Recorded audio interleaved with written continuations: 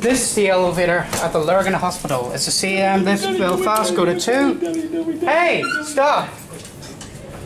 Listen to the motor. Hey, stop! Stop! Stop tickling me! Stop scratching! Hey! Stop! Stop tickling me! Oh, indicator's burned out. Here we are two, but I went out.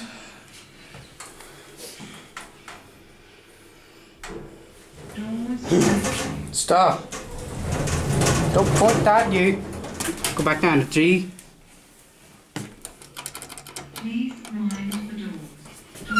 It's pretty basic CM. Let's uh, spell fast. The capacity is 1800 kilos, 24 passengers. Was installed in the mid 90s.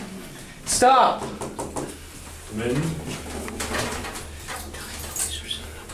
Men. Oh. Oh, one works. Mm. Here we are back down at G. Hold on, anyone out?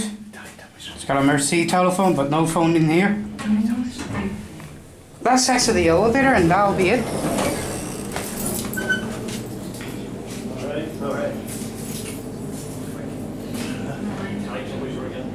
There it goes, and that'll be it for now. Burn that light. That's it.